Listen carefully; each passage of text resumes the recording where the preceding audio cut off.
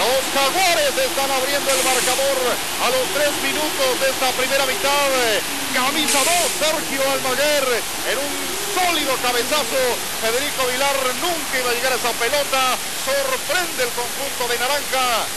Está ganando 1 por 0 al Atlante, David Medrano.